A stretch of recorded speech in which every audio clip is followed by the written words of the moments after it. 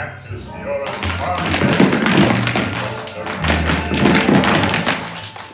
a bad banana with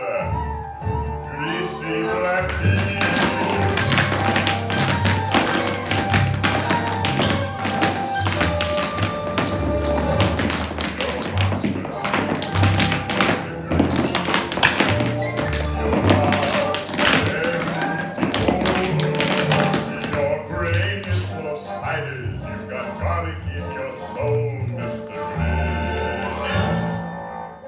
I wouldn't touch you with a 39 and a half